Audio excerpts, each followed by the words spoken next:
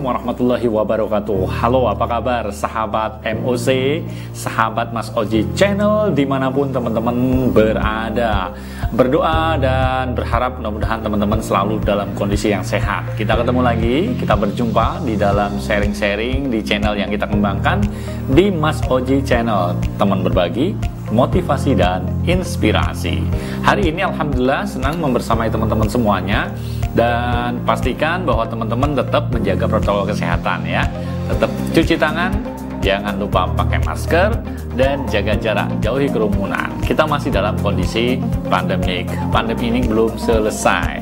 Bahkan di beberapa wilayah masih berlaku PPKM darurat. Pemberlakuan pembatasan kegiatan masyarakat darurat. Nah teman-teman seperti biasa hari ini kita ingin sharing. Sharing informasi-informasi masih berkaitan dengan PPKM darurat Apa itu informasinya? PPKM darurat direvisi Aturannya masjid tidak lagi ditutup Yuk kita simak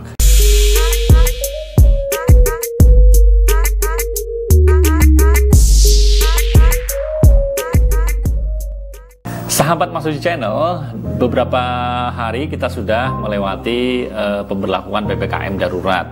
Beberapa tempat sudah sangat ketat ya, masjid sudah tidak lagi difungsikan, ditutup, kemudian jalan-jalan sudah mulai sepi, bahkan beberapa pedagang yang masih saja berjualan harus dibersihkan dengan uh, water cannon ya. Kita melihat beberapa tempat memang uh, para aparat ya bekerja sama mulai dari aparat TNI, Polri, Satpol PP, Dishub semuanya melakukan upaya-upaya penyekatan dan lain sebagainya.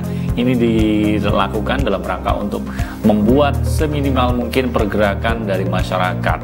Nah, eh, ada informasi teman-teman semuanya bahwa eh, pemberlakuan PPKM darurat yang akan berakhir sampai tanggal 20 Juli kalau nggak diperpanjang ini ada revisi yang dikeluarkan oleh pemerintah yang terbaru. PPKM darurat ini direvisi bahwa melalui pemerintah ya melakukan revisi terhadap peraturan dalam pemberlakuan pembatasan kegiatan masyarakat atau PPKM darurat yang ada di wilayah Jawa dan Bali tentunya. Perubahan aturan tersebut terdapat dalam Instruksi Mendagri nomor 19 tahun 2021 tentang perubahan ketiga Instruksi Mendagri nomor 15 tahun 2021 tentang pemberlakuan pembatasan kegiatan masyarakat darurat COVID-19 di wilayah Jawa dan Bali. Pada aturan sebelumnya disebutkan bahwa tempat-tempat ibadah berupa masjid, musola, gereja, pura, kemudian vihara, kelenteng, dan tempat-tempat ibadah lainnya itu tidak difungsikan sebagai tempat ibadah alias ditutup sementara. Kemudian ya ada aturan yang terbaru direvisi menjadi tempat ibadah, masjid, musola, gereja, pura, vihara, kelenteng dan tempat-tempat ibadah yang lainnya ini difungsikan sebagai tempat ibadah tidak mengadakan kegiatan peribadahan keagamaan secara berjamaah selama masa penerapan PKKM darurat ini dan mengoptimalkan pelaksanaan ibadah secara masing-masing di rumah. Ini bukan berarti ditutup ya tadi tetap difungsikan, hanya saja dikurangi pembatasan e, ibadah-ibadah secara bersama atau berjamaah. Artinya masjid ya tetap masih bisa melaksanakan sholat lima waktu sebatas terbatas eh, takmir dan lain sebagainya. Nah teman-teman semuanya perubahan ini tentu saja menggembirakan ya bagi umat muslim bahwa sebelumnya banyak juga yang menyayangkan kalau masjid sampai ditutup mereka-mereka yang sudah rutin ya takmir masjid atau rumah-rumahnya yang ada di sekitar masjid yang betul-betul safety tidak uh, ada kemungkinan terpapar COVID masih bisa melaksanakan ibadah di masjid. Nah, uh, menanggapi itu uh, kita simak ada pernyataan dari pengurus MUI. Pengurus MUI dalam hal ini adalah Ketua MUI bidang Komisi Dakwah ya. Kiai Haji Khalil Nafis beliau menyampaikan beberapa pandangan dan pendapat tentang uh, perubahan ini. Ya intinya adalah menyambut dengan bersyukur alhamdulillah pemerintah mau mendengar aspirasi umat.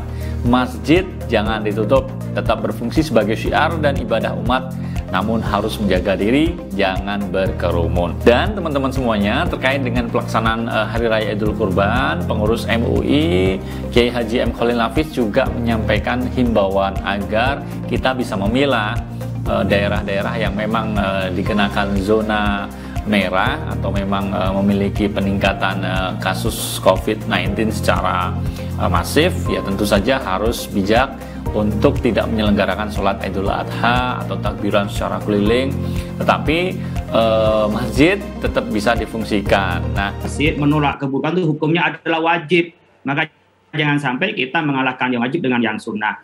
Namun demikian juga jangan sampai overacting, masjid ditutup, jangan jadi nggak ada penutupan masjid yang ditutup adalah kerumunan okay. ber, disebabkan oleh jamaah ke masjid itu. Itu yang harus dipahami. Jadi takbiran tetap dilakukan oleh takmir saja barangkali juga eh, jangan ada orang luar juga yang datang ke tempat itu sehingga masjid tetap sebagai fungsi syiar fungsi hmm. sebagai eh, kohesivitas sosial bisa saja dana infak sedekah dari masjid diberikan pada jamaah jadi kita ingin mengajak kepada kita semua dan pemerintah yang mengambil kebijakan untuk memfungsikan masjid bukan yang diawasi, tetapi masjid dijadikan sebagai pusat yang mengawasi.